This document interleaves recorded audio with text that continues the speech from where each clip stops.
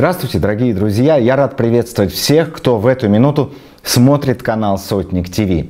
Сегодня 3 февраля 2020 года. И позвольте похвастаться, вот и дорос канал Сотник ТВ до звезд мирового уровня. Да-да-да. Сегодня мы будем говорить о русской культуре, о путях русской духовности, об особом пути загадочной русской души. А мой сегодняшний собеседник – это фантастика. Дирижер и пианист, всемирно известный Андрей Гаврилов. Андрей Владимирович, здравствуйте. Здравствуйте, Саша. Очень рад вас видеть. Здравствуйте все, кто нас смотрит. Взаимно. Я вот уже похвастался перед нашими зрителями, что называется шмагла. Доросла, наконец-то, наша компания честная до того, чтобы общаться с такими звездами мировой величины, как вы, Андрей. Спасибо, что разрешили без отчества, ну, потому что таки, такой закон на Западе, там общество, отчество не знает. Правильно, да? Именно. Да. Именно так. Андрей, я не хочу даже вас спрашивать, на чьей стороне вы в вечном этом споре э, Пушкина с Чадаевым, э, который один, один русофил, другой западник. Я даже не спрашиваю об этом. Вы уехали очень давно из Советского Союза, я так понимаю, еще. А что же вас так прельстило на Западе? За какие такие ковришки вы продались? За Э, пластинки Битлз или еще за что-то. Когда вы осознали, что что-то не так со страной, что-то не так с советскими людьми, каким образом это случилось? Но это процесс очень постепенный, постепенный, потому что ты понимаешь это э, не волевым решением, не однозначным, не одноразовым волевым решением, а это качественное изменение – твоей всей физиологии, он через физиологию ходит. И связано это, конечно, с тем э, было, что передо мной очень рано открылся весь мир. Я с 15 лет начал путешествовать, что редко, конечно, очень было, э, ну не то, что редко, а, наверное, совершенно было уникально для советского мальчика. Потому что 15 лет я совершил первые гастроли зарубежные, и с тех пор уже стал регулярно выезжать э, за границу. А с 18 лет после победы на конкурсе Чайковского э, моя вся активная жизнь и вся творческая жизнь больше даже проходила вне Советского Союза. И э, это связано, конечно, с большим очень культурным обогащением, с большим, э, с большой возможностью широты взгляда, охвата взглядом Э, всего мира, понимаете?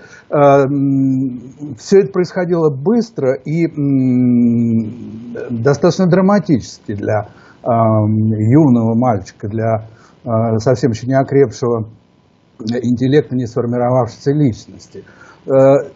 Факторов здесь очень много. Это, конечно, ощущение, достаточно быстрое ощущение и понимание, что Советский Союз не обладает той свободой, которая необходима для творчества. Творчество диктует свободное мышление, творчество диктует аналитический ум, ты все подвергаешь анализу и критике, в первую очередь себя и свое творчество, и ты начинаешь смотреть критически и анализировать все вокруг. И э, вот этот анализ, который происходил, в общем, с 15-летнего возраста, он к 25 годам моей жизни уже завершился далеко не в пользу э, замкнутого общества, которым являлся СССР. СССР – это супер замкнутое общество. Россия была всегда дореволюционная, достаточно замкнутая, такая окуклившаяся всегда, насупившаяся по отношению э, к Европе и другим странам. Советский Союз, он довел до экстрима, да, мы часто это сравниваем уже с неприятными очень такими э, словами, как зона, гулаг, всякое такое безобразие, где люди, в общем, э, ограничены просто уже буквально стенами и колючей проволокой. Ты не можешь это не чувствовать, если перед тобой открывается мир, если ты музыкант, если ты начинаешь со всеми говорить на универсальном языке, когда весь мир становится даже не то, что твоим миром, а практически твоей колыбелью. Ты себя чувствуешь как вырастающий ребенок, а вот весь мир, он колыбель. Э, и, эм, конечно, очень быстро Советский Союз стал не просто местом, где что-то такое не хватало. Эм, ну, конечно, все вы прекрасно помните, кто застал Советский Союз, что мы детьми и подростками радовались всякой материальной ерунде, которая приходила с Запада, да, пластинки, там, и, такое, все прочее. Эм, но это мелочь, конечно. Эм, это только эм, маленькие такие э, льдинки айсберга, которые мы в детстве могли и в юности ранее чувствовать. Но когда ты уже становишься то, что мы называем гражданином мира, и не в философском смысле, а буквально материальном, перед тобой э, не существует уже границ. Твой язык, в данном случае музыка, у кого-то наука, он все границы уничтожает, границы понимания между людьми, не, границы непонимания, барьеры э, уничтожены, э, границы политические за этим тоже, которые стоят, они тоже географические, политические, все сразу падает. Ну а потом э, начинается уже чуть-чуть более серьезное осознание, когда ты, я получил доступ Э, к свободной литературе, когда я изучил очень хорошо литературу, философию, когда все стало на свои места, когда стало понятно, что СССР это достаточно антигуманное и преступное образование, которое э, преследует своей целью э, подчинение человека – и э, самое страшное, что делал Советский Союз, это обуздание человеческой природы насильно. Этого делать, конечно, нельзя ни при каких обстоятельствах, потому что это равнозначно просто медленному убийству человека. И э, некоторым образом даже сведению его с ума. Нельзя человеческую природу насильно обуздывать. Ее можно воспитывать. Это длительный культурный процесс. А большевистское решение сделать это одноразово, раз и навсегда насильно, привело к тому, что началось искажение человека и уничтожение человека, умирание его души. Э, человек стал расти в кривь в кость, лишился истории, лишился ума, лишился понимания мира, лишился возможности иметь свое мироощущение, мировоззрение, лишился всего, превратившись в какую-то уже непонятную полубактерию, получеловека. Конечно, все это было понятно. Ну и, конечно, заключительным, наверное, аккордом, самым страшным для меня материальным, это когда я попал э, тоже мальчиком в Западный Берлин и посмотрел с другой стороны. Саша, это надо было видеть, это надо было видеть. Когда э, это, это, это было... Э, я до сих пор, это мое самое сильное впечатление, потому что это была материализация двух миров – в материи, в ощущении. Ни литература, ни э, пропаганда, ни телевидение, ни, ни какой-нибудь очень сильный фильм, ни поэзия, ни рассказ очевидцев. Нет, это было воплощенное э, в материи удивительное совершенно чудо. Чудо, когда две философии были воплощены в материи, в людях, в зданиях, и ты мог это наблюдать, когда с одной стороны тебя провозили из части советской через минные поля, через вышки с самострелами, через эм, э, солдат с овчарками, с, с автоматами, э, безликих, страшных, ну, как мы видим в самых э, таких э, хрестоматийных кинофильмах, э, ужасных. И вдруг когда э, машина проезжала через чекпоинт Чарли, а это был основной э, пункт пересечения Западный Берлин, границы э, э, к союзникам, там тогда еще так это называлось, союзник, альянс. Э, там, значит, была французская зона, английская, американская. Э, это было удивительно, ведь это совсем недавно было. И э, с другой стороны, э, ты попадал сразу в свободную атмосферу, где никто даже не обращал внимания на эту стену, которую мы проехали, за которой были минные поля, самострелы, страшные люди, овчарки, калашниковы. А по эм, э, реке сновали эм, быстроходные катера, вооруженные пулеметами, которые ты видел ослепляющим светом.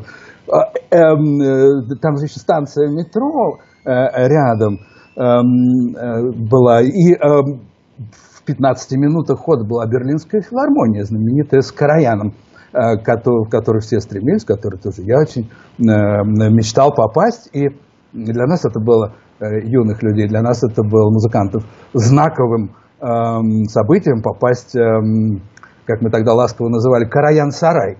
потому что там очень смешная архитектура, она похожа действительно на какой-то такой сарай, ну, с очень хорошей акустикой. Э, и поскольку это все принадлежало хозяйству Караяну, он там безраздельно царствовал, сейчас это уже улица Караяна, то мы называли это Караян-сарай. И вот э, это, практически эту стену можно было разглядеть именно даже из филармонии, из этого э, футуристического здания. И э, вдоль стены стояли э, вышки с западной стороны, но вышки такие, как в зоопарке, когда смотришь на опасных животных. Э, стояли высокие столбы, как фонарные столбы, винтовая лестница была вокруг них, эм, с, с такими с небольшими пролетами, и железные площадки, эм, как для строителей, с перилами. Можно было подняться на уровень 1, уровень 2, уровень 3, и с одной э, перспективы, второй перспективы, третьей перспективы посмотреть э, на зоопарк. Но это был гораздо страшнее зоопарк. Когда я поднялся на одну из таких площадок железных, в один из своих самых первых визитов после репетиции э, в Берлинской филармонии пошел погулять. Э, с, с западной стороны, на, около этой стены, можно было, естественно, до нее и дотрагиваться. Она была вся исписана граффити. Э, молодежь там все писала, естественно, свои молодежные лозунги вечные. «Make love, no war» и так далее, и так далее, и так далее. Она э, вся была изрисована мордами э, диктаторов, э, смешными карикатурами. И вот ты поднимался по ступенечкам и смотрел сначала на общий вид с первой площадки. Тогда э, можно было посмотреть только здания, которые были со стороны ГДР. И эти здания уже становились эм, чем-то враждебным, страшным тебе. Ты не сразу, не, не, сразу понимал, в чем дело. Потом чуть-чуть осознав, ты начинаешь понимать, что у них были забетонированы все окна и заложены кирпичом. То есть дома были слепые, чтобы да, люди из ГДР не имели возможности даже через стену посмотреть. Э, уже, э, несмотря на то, что дома начинались там через 100-150 метров, после этой вспаханной полосы, которая была, еще она была вся еще заминирована. вот. Потом можно было подняться на более высокую э, площадку и посмотреть чуть-чуть выше, и потом на третью площадку, и оттуда уже посмотреть просто глаза в глаза этим самым э, пограничникам и солдатам, э, готовым в тебя выстрелить с автоматами, с собаками и со всем этим ужасом. Ну, понимаете, эм, э, вот это вот ощущение острой свободы, которое ты понимал на стыке двух цивилизаций – оно ни с чем не сравнимо и неповторимо. Этого нельзя э, даже испытать, я думаю, сейчас, э, сейчас осталось э, последнее такое знаковое место, это э, между двумя Кореями похоже. Но все-таки это другое, потому что, во-первых, это азиатский мир, это далеко, э, это не наша цивилизация – это э, потом Северная Корея это уже настолько карикатурное образование, которое как рудимент уже, э, карикатурный рудимент прошлого такого страшного остался. Поэтому, конечно, там не может быть такого серьезного ощущения, как было в Западном Берлине. Западный Берлин – это центр нашей христианской цивилизации, это центр эм, человеческой мысли, это центр человеческой культуры был. И вот ты видел воочию и уже не нуждался больше ни в каких объяснениях, ни литературе, ни поэзии, ни живописи, ни кинофильмах, ни пропаганде, ни объяснений, ни профессуре, ничего. Ты просто смотрел, ощущал, сердце начинало колотиться, и ты начинал понимать, что эти два мира совершенно не могут сосуществовать, и ты прекрасно понимал, какой мир из них реальный и настоящий – а какой вымышленный и антагонистический человек. Андрей, вот вы сейчас очень интересную вещи рассказали, с которой действительно не поспоришь. Только увидев это собственными глазами, можно, можно вас понять. А 70%, даже больше теперь, 7, больше 70% россиян никогда не были за границей вообще. А не поэтому ли Путину так легко удается вернуть этот страшный совок и вот творить со страной то, что он сейчас творит. Ведь он людей расчеловечивает. И, кстати, э, у меня несколько раз мелькала в голове такая фраза, которую бы упоротые патриоты могли вам сказать. Ах так, Родина вас вырастила, Родина вас выучила, а вы вот так ей ответили. Ответьте им что-нибудь. Вы знаете, дорогие друзья, это будет совершенно несправедливо по отношению к моему, по крайней мере, пути в жизни, потому что, ну, во-первых, я хочу сказать, что мы будем стараться быть сдержанными и очень культурно вежливыми в том материале, который мы сейчас, с которым мы делимся, потому что я очень не хочу впадать э, в грубость, что часто э, происходит, когда говоришь об очень грубых вещах, они сами по себе очень грубые, их трудно облагородить. Эм, грубость порождает грубость, э, злость порождает злость, насилие порождает насилие. Поэтому нужно быть максимально сдержанным, когда мы говорим с людьми о грубых вещах. Вот говоря поднимая все темы российские сегодняшние, мы поднимаем очень все грубые темы, потому что э, они все замешаны на лжи, обмане и манипулировании сознанием человека. Эм, к сожалению, это уже сложилось да, за целый век такая историческая традиция, когда эм, пришли люди к власти незаконным путем, и они должны были незаконным путем ее удерживать. Эм, это отдельный разговор. Что касается вашего конкретного вопроса, то э, музыка это такое э, дело фамильное, семейное, келейное. Э, мое образование свелось к тому, что мне нужно было делать все в двойном размере. Потому что каждый поход в школу, он уничтожал все то, что моя семья создавала, скажем, предыдущий день. А, э, мягкость, а, культура, а, понимание музыки с трехлетнего возраста. Моя музыка началась, э, я услышал реквием Моцарта э, в трехлетнем возрасте на кухне общей квартиры.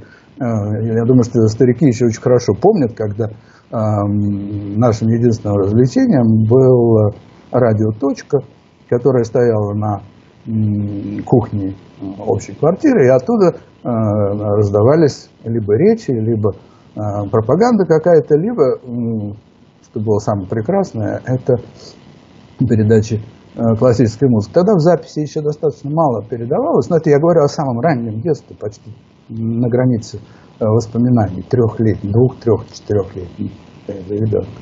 А, но я помню это, я помню, я помню э, первую общую квартиру, где я родился на Ленинском проспекте. Три семьи, а, где а наша семья чрезвычайно интеллигентная. Отец э, художник, э, мама музыкант. Гавриловы были потомственные интеллигенты, строители российской железной дороги в третьем поколении. И наши соседи были, один был, одна семья была милицейская, а вторая КГБшная. КГБшный был э, совершенно отвратительный э, пьянчуга, который напивался, я тоже это помню, когда напивался, бегал по коридору, потом в своих галифе и кричал «всех заложу», когда напивался. Такие вот вещи я еще помню. Это удивительно. Да, так вот, эм, музыка – это династии, как правило. Это династийное дело. Поэтому э, школа здесь совершенно э, не нужна. Школа, она вмешивалась э, своим общеобразовательным процессом с первого же класса уже пропагандой, влиянием на ребенка.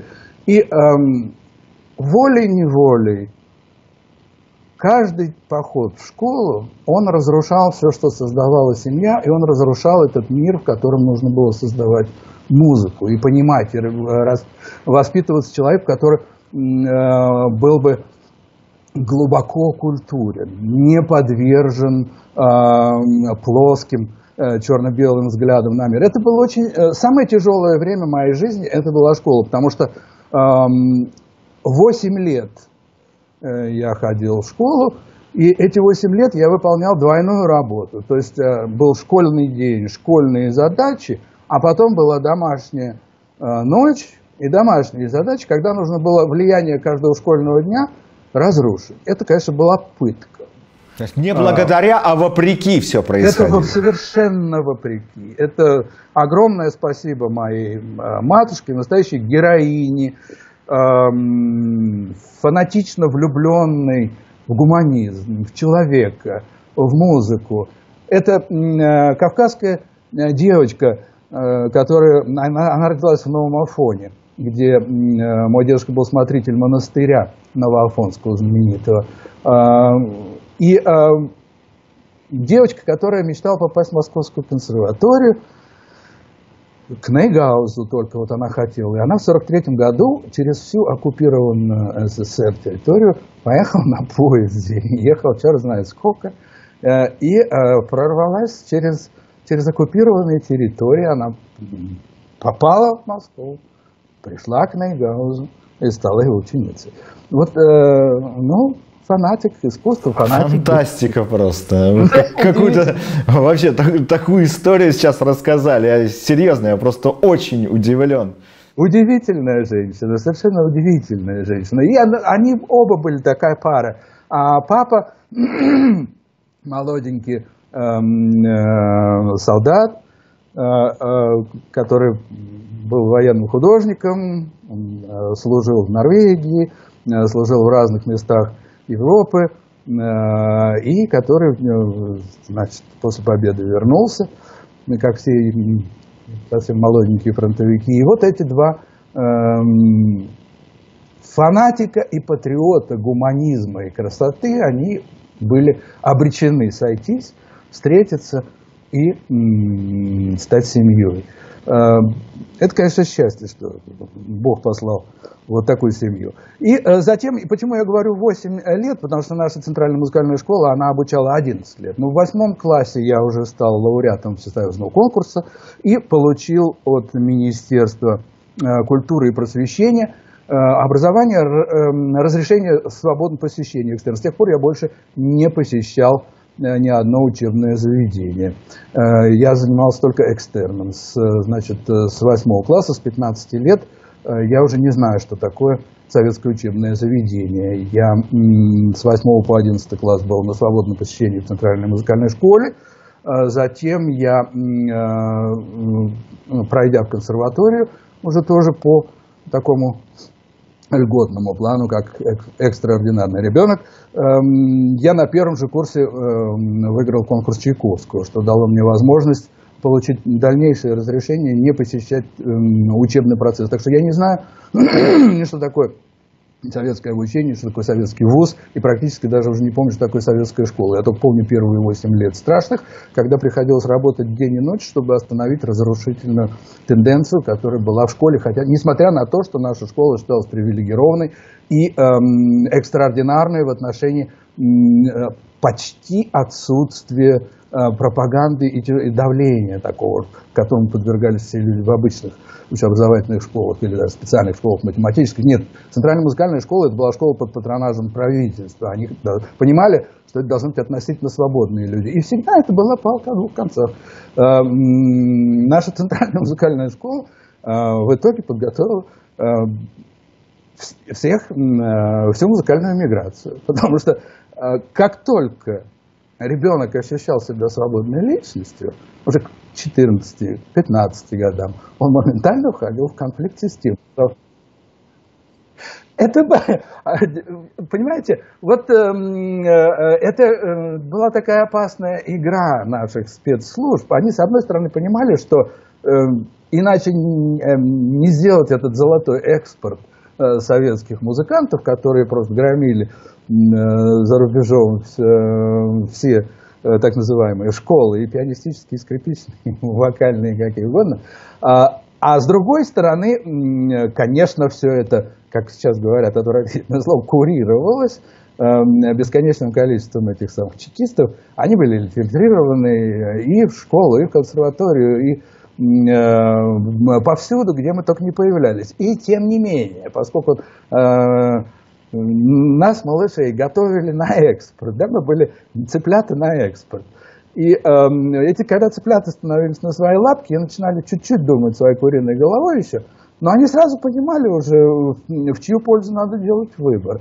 И здесь КГБ обычно либо делала тебя на всю жизнь невыездным, это когда они уже видели большую опасность, либо они все время играли в кошки-мышки с человеком, доводя его, в общем, тоже до полупомешательства. Они так практически отправили на тот свет всех наших значительных музыкантов. Так, например, Эмиль Киллельс,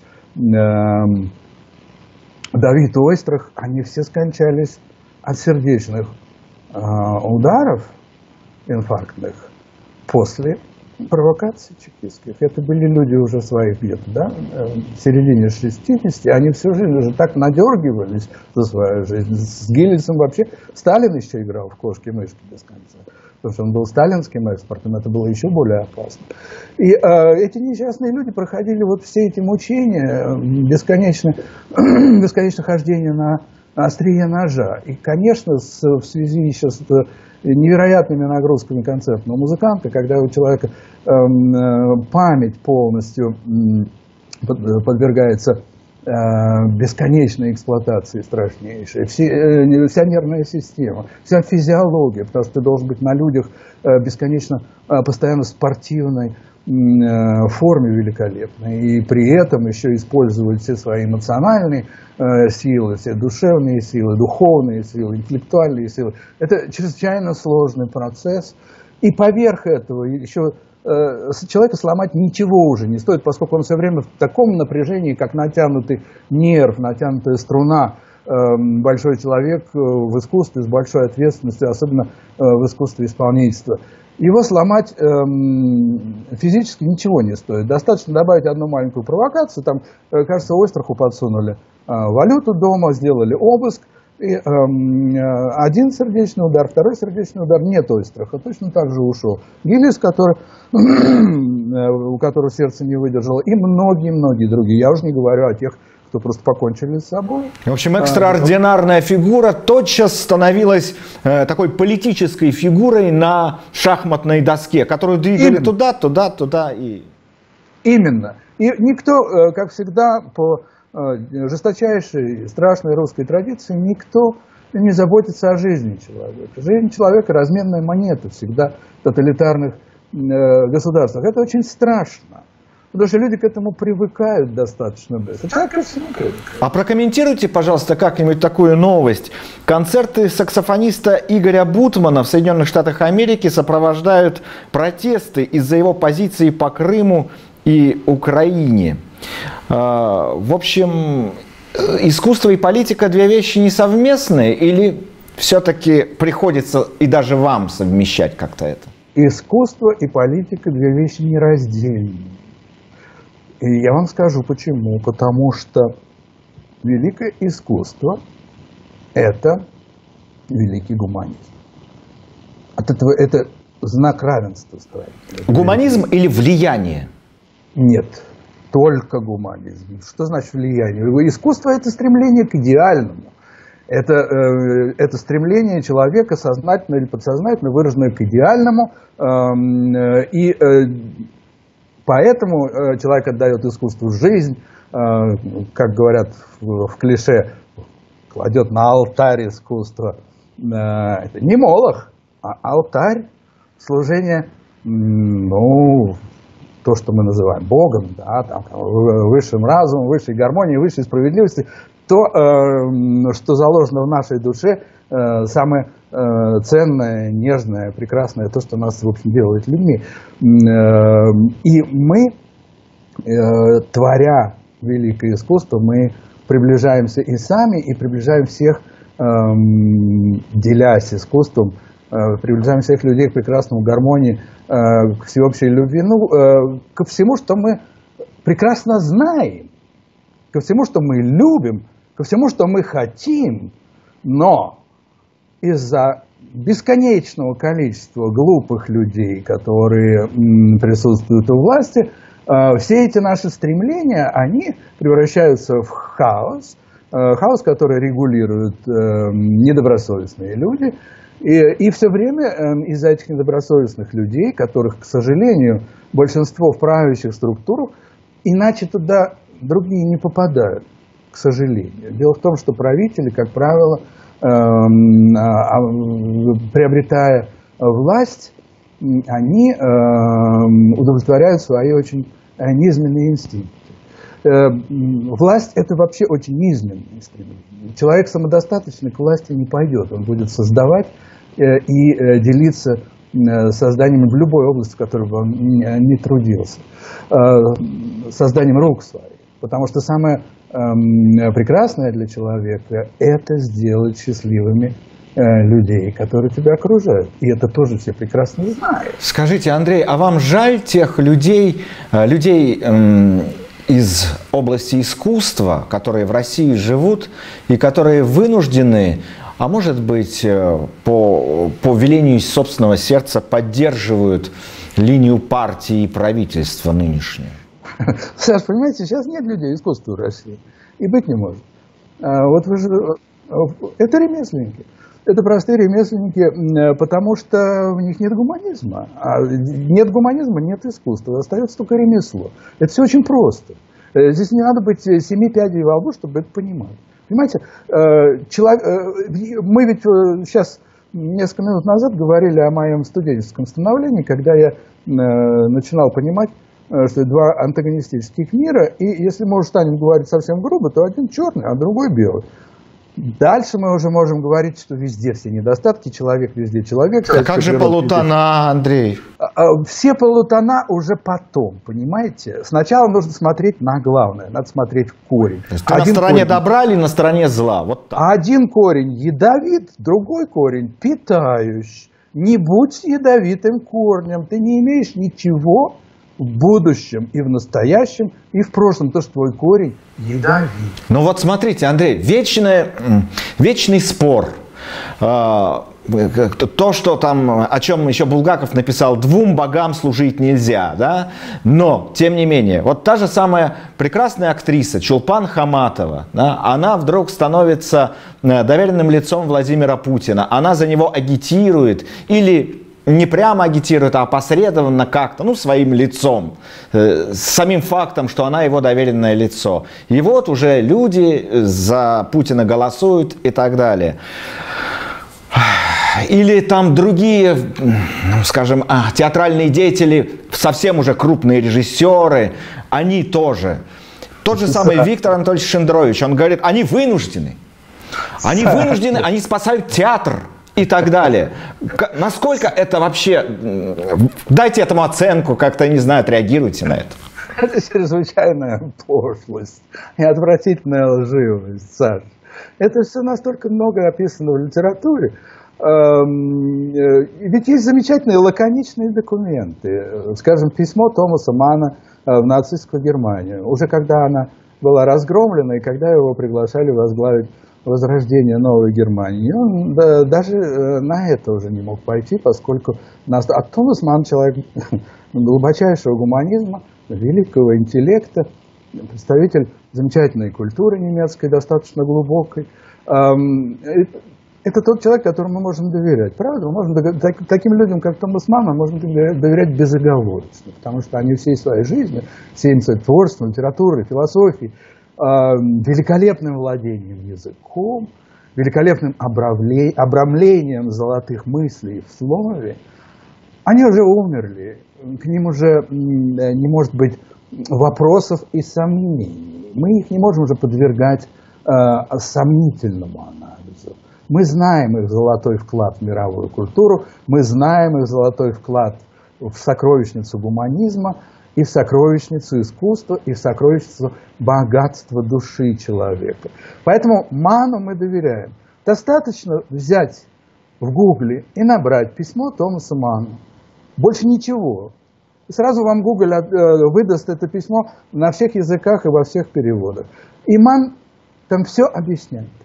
Прочтите это письмо, и оно все вам объяснит. Это все очень просто. Это займет у вас 15 э, минут у компьютера вы пообщаетесь с великой душой прекрасного Томаса, э, который все расскажет в этом письме самыми благими намерениями, поскольку уже разгромлен Рейх, уже э, нету никакого Гитлера. Кажется, это письмо ему было написано в 1946 уже году, когда хотели люди возрождать и стали возрождать Германию на новых эм, принципах. Но Томас отказался. Почему? Прочитайте. Это будет очень полезно. А что касается тех фамилий, которых вы упомянули, Саша, это, это люди, которые к искусству никакого отношения не имеют. Как Чулпан Искусство... Хаматова не имеет никакого отношения к искусству? Разумеется, нет. Во-первых, Чулпан Хаматова актер. Это человек подневольный. Это человек, который своего лица не имеющий и не может иметь. Э, в силу своей профессиональной заточенности. Эм, актер может стать великим человеком искусства только именно и тогда, когда он поднимется до высот гуманизма, вырастет, перерастет актерскую сущность актера-марионетки и станет большим человеком, тогда э, к, мнению которого уже можно будет прислушаться. Называется а, не в игре, а над игрой. Вот так. Это уже будет человек культуры, а не... Э, э, не цеха, самом, не цеховой в, человек. В самом слове актер да, уже заложена, э, заложена суть этой профессии. Да, он играет. Лицедейство. Лицедейство, совершенно верно. Это не самостоятельная фигура. Актер становится самостоятельной фигурой, когда он перерастает большое количество стадий развития эм, человека и доходит до высот гуманизма. Таких актеров по пальцам посчитать за всю историю. Это может быть в Америке, это Орсон Уайлз, э, ставший режиссером, эм, э, в Европе, ну, может быть, отчасти это Марлен Дитрих, эм, э, вот такие, понимаете, личности, которые становятся уже настоящими э, членами семьи мирового искусства. Я бы еще Чаплина назвал, Чарльза ну, Спенсера. Да, но Чаплин все-таки изначально э, уже был самостоятельной величиной режиссерской, э, писательской, он уже начинал сразу, он, в общем-то, почти не работал просто как актер подневольный. Это был уже совершенно другой калибр. Он, ему даже не надо было расти переходя вот эти все стадии, да, то есть этот человек уже был рожденный самостоятельной личностью, это был уже рожденный да, самостоятельная а... величина такая, которая просто потом зажглась уже, и все. Уже к позднему тинейджерству это был уже сложившийся гуманист.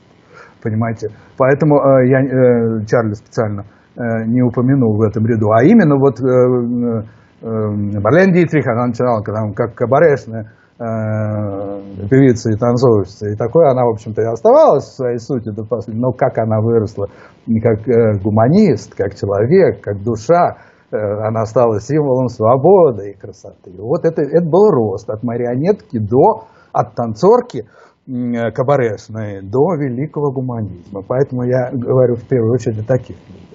Вот. А что касается какого-то там саксофониста, или, не знаю, эстрадного певца локального, не забывайте, что эм, э, Советский Союз и постсоветское образование – это глубоко провинциальная эм, страна, э, которая почти никакого отношения не имеет к мировой культуре.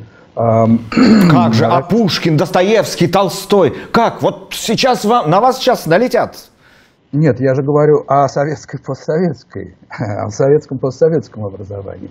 Эм, эм, Пушкин, Толстой, э, Достоевский – это люди, которые э, были у истоков еще создания золотой культуры российской, которая, э, по, моим, по моему глубокому убеждению, так и не сложилась. Слишком короткий отрезок. Да? Что такое культура? Культура – это глубокая индивидуальность, выразившая себя а, в той или иной области культуры, которая опирается на глубокие национальные традиции. У нас этого нет. У нас ну как нет же, вот даже по композиторам пройтись, Глинка, например, Мусорский, ну что ж. У нас нет глубоких национальных традиций. Мы только начали складываться в XIX веке. Это был взрыв э, э, начала культуры, откуда культура должна была Э, пускать глубокие корни. Это, не забывайте, что эм, в XVIII век у нас еще практически ничего не сложено. Э, в постпетровские времена э, культура наша претерпела невероятную ломку, такую большевистскую уже ломку, да, когда все начало, начало создаваться волевым, насильственным методом. Все эти царско-сельские выпуски, все, что начало только-только нарождаться, это же были люди годов рождения конца XVIII века, да, это же были люди 1780-го, Пушкин 1799 года рождения, тысяча человек 18 э, века, 18 века воспитания, человек не определившийся, не имеющий глубоких культурных корней. Он их только нащупывает своим творчеством. Потому что это э, э, щенок, э, которого новое волевое решение э, правителей России э, образовало э, по западному образцу и подобию, дав ему прекрасное образование, но не обладая возможностями э, дирижировать историческими процессами, процессами временными. Поэтому э, Пушкин это такой э, щеночек еще, который нащупывает только свои корни. Ну тут я со- соглашусь с вами, потому что это было очень похоже. Это с одной стороны язык Державина такой высокий штиль, и с другой стороны кабацкий штиль э, Баркова. Вот между этим он, собственно, и лавировал, и нащупывал. Действительно, да. Ну, вы понимаете, и Державин, и Барков тоже, это же все, это же очень недавно. Понимаете, друзья, для культуры это очень мало. Если мы говорим о, о, о, каких, о какой-то настоящей культуре э, российской, да, о, наш, о наших корнях, с которыми мы можем себя идентифицировать, мы должны пойти в Новгород древний. И, э, а больше того, мы должны, должны пойти на древнеславянские племена. И вот оттуда искать свою идентификацию. Ведь чем прекрасен Мусорский, э, чем он стоит э, особняком, как Эверест русской культуры, потому что он подсознательно нащупал он в, своем, в своей музыке отразил не христианскую Россию. Он в своей музыке отразил не Россию 19 века. Она для него так, в его музыке она просто промелькнула. Эм, Мусорский обладал э, таким дарованием, равным которым э, я рядом с Мусорским могу ставить только Баха. Эм, потому что у него широта его охвата в музыке взглядов сознательно. Сначала я думаю, что это было на подсознательном уровне, какая-то генетическая комбинация фантастическая в нем сыграла. Потому что он музыкой начал обнимать Россию от диких славянских племен до России будущего – его знаменитый конец картинок с выставки, где он представляет Россию будущего. Сначала у него два последних номера картинки с выставки. Это «Баба Яга», а «Баба Яге» это же только э, название такое, потому что оно было вызвано э, картинкой Гартмана покойного, которая послужила спусковым крючком э, к идее картинок э, смерть его близкого друга. И Мусорский два последних номера делает. Все, в «Бабе Яге» он дает все негативные черты русского народа вот эту русскую кровавую вольницу. Гой да, гой да, гой да, гой. Э, кошмарный кабак, каторга, все эти федьки каторжные, финочные люди, которые под четвертое ребро тебе суют металл с удовольствием, с ухмылкой. Страшная русская вольница, кровь. Он это все там охватил. Когда вы послушаете Бабу Ягу, э, вот я недавно делал большой, э, новый совершенно полностью ревизию записи э, в прошлом году сделал на своем же собственном лейбле, эм, э, где я раскрываю все смыслы. Если вы послушаете, вы там увидите, вы там увидите Путина, Захарову, потому что там есть э, вот эти вот русские эм, исключительно присущим русским негативные черты. Вот это ерничество, злорадный смех над поверженной жертвой, что мало какие, эм, какие народы до такого цинизма э, доходят. Уж если русский пошел вниз, то он дойдет до самого дна. Если он пойдет наверх, то он дойдет туда, куда еще, может быть, никто еще и не доходил. Но пока движения вверх нет. Эм, так я что хочу сказать, что Мусорский э, эм, девятым номером, предпоследним, Э, дает э, все негативные черты Бабу Ягу, у него в каждом такте э, он показывает, меняет э, разные негативные черты. От э, скачущих опричных этих самых э, гиканий э, до ернического смеха, до всякого издевательство над, над плотью, над духом. Это все настолько выражено в музыке, но невероятно. Послушайте, не поленитесь. И следующим номером к этому примыкает эм, э, Киевские ворота, где показана Золотая Русь, где Мусорский э, в теме, которая олицетворяет его, это прогулка. И она становится в звоне золотых колоколов, и он летит над Россией, которая уже вся светится золотом, гармонией и любовью. Вот, э, коли он увидел там э, сегодняшних наших братков в Бабе-Яге, то, наверное, э, будучи пророком, он увидел то, что мы сейчас не видим, вот эту вот золотую Русь. Как она родится, в каких муках, не знаю, но Мусорскому я верю. Но так я вот что хочу сказать, что они только все эти наши прекрасные люди, они только зарождались. И 17-й год их а, взорвал. Понимаете, в нашей культуре без году недели. Она себя не успела даже идентифицировать, она не успела выкрестить. И тут же пришли. Шариковы и начали стрелять в затылок. Были взрывы только золотые. Взор сначала взорвался Пушкин и создал русский язык, на котором мы разговариваем. Потом взорвался Чайковский и создал русскую музыку настоящую. Да, потому что до этого она была такая придворная, вся еще в немецких традициях. А сейчас у нас Бузова. Бузова наше все. Взорвался в Мусорске, э, как атомный э, со знаком плюс взрыв, и дал в своей музыке за свои 42 года жизни э, всего ничего. Он за это время дает взгляд от пра-пра-пра наших пращуров славянских, которые прыгали там через, через костер, до России будущего, которую мы еще не видим. Вот э, начала взрываться э, русская культура этой красотой золотой. Э, и тут же она была серпом и молотом. Серпом обрезана, молотом вбита могила.